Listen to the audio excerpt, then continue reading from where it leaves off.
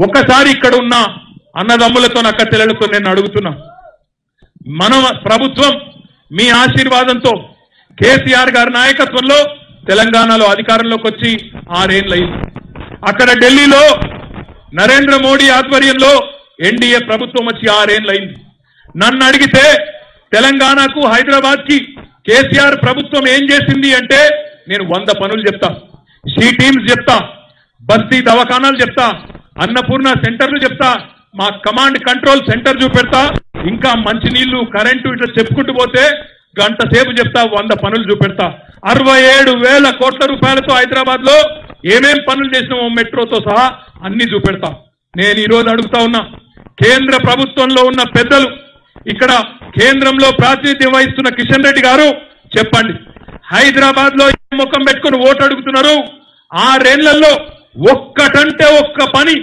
మీ కేంద్ర ప్రభుత్వం ఆ హైదరాబాద్లో చేసిన పని ఒక్కటి చూపెడతావా? దమ్ముంటే చూపెట్టు అని చెప్పి నేను అడుగుతా ఉన్నా. ఆ రెండ్లలో ఒక్క పని చేయలే. ఇంకా మీరికెళ్ళి పెద్ద పెద్ద మాటలు మాట్లాడుతున్నారు. దయచేసి ఆలోచించండి. పచ్చగా ఉన్న హైదరాబాద్లో నిప్పు పెట్టే ప్రయత్నం చేస్తా ఉన్నారు. ప్రశాంతంగా ఉండే హైదరాబాద్లో అలజడి సృష్టించే ప్రయత్నం అరాచకం సృష్టించే ప్రయత్నం చేస్తా ఉన్నారు. జో భాయిచారా అమన్ యాపే ఖాయమే. ఇస్కో బర్ఖరార్ రఖనే కే టిఆర్ఎస్ పార్టీ टीआरएस गवर्नमेंट और केसीआर साहब पूरी तरह से मेहनत कर रहे हैं हिंदू हो मुसलमान हो ईसाई हो चाहे कोई भी मजहब के हो उन सबको साथ लेके चलने में केसीआर साहब विश्वास रखते हैं बट चंद लोग आज कोशिश कर रहे हैं इस अमन को भाईचारे को तोड़ने की कोशिश कर रहे हैं నిన్న మొన్న ఆయన ఒక ఆయన ధర్నా చేసిండు ఎక్కడ చేసిండు ధర్నా అక్కడ చార్మినార్ కారికి పోయి జుమ్మా రోజు కావాలని భాగ్యలక్ష్మి టెంపుల్ దగ్గర ధర్నా నీకు టెంపుల్ దగ్గర ధర్నా చేసేది ఉంటే పర్వాలేదు. మేమందరం కూడా దేవుణ్ణి మొక్కుతాం. మాకందరికి కూడా నమ్మకాలు ఉన్నాయి కానీ మరి ఇంకా టెంపుల్స్ లేవా? గుళ్ళు లేవా హైదరాబాద్లో? బిర్లా మందిర్ లేదా? బల్కంపేట ఎల్లమ్మ గుడి లేదా? తార్బండ్ల ఆంజనేయ స్వామి గుడి లేదా?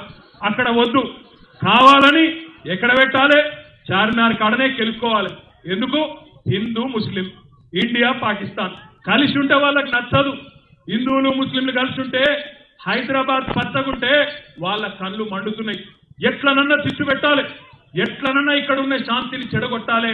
నాలుగు ఓట్లు సంపాదించుకోవాలి. ఈ మంటల్లో చలిగాసుకోవాలనే ప్రయత్నం కొంతమంది చేస్తా ఉన్నారు.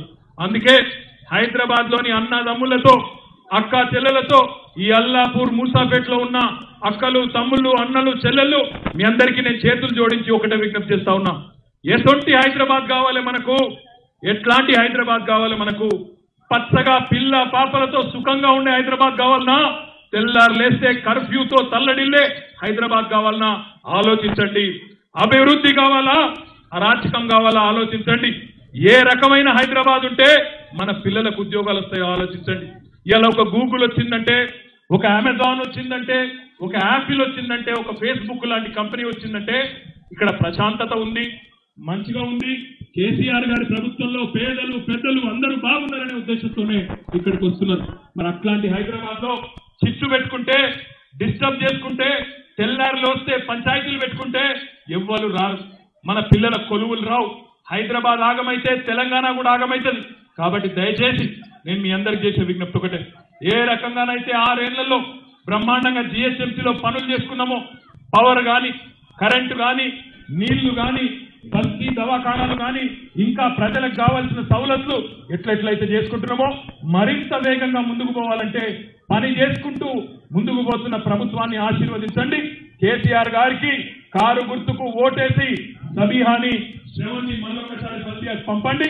పెద్ద మెజారిటీతో పంపించినట్లయితే ఎవరైతే హైదరాబాద్ను కొందరి హైదరాబాద్గా చేసే ప్రయత్నం చేస్తున్నారో అందరి హైదరాబాద్ను కొందరి హైదరాబాద్ గా చేసే तो बुद्धि వాళ్లకు ఓటుతో బుద్ధి చెప్పండి అని చెప్పి का మనస్ఫూర్తిగా నేను కోరుకుంటూ, ఆ సబ్ हमारे बहनों से एक ही गुजारिश है ये सबकी हैदराबाद है पूरी हैदराबाद में जहाँ कहीं भी कोई भी हो, किसी भी मज़हब का हो, आज सबको साथ लेके चलने में, जैसा कभी मखदूम मयूती ने कहा था, हयात लेके चलो हयात लेके चलो, चलेटे चलो सारे जमाने को साथ लेके चलो, ऐसी बस, ऐसी हुकूमत आज केसीआर साहब चला रहे हैं। सबको साथ लेके चलने में केसीआर साहब विश्वास रखते हैं।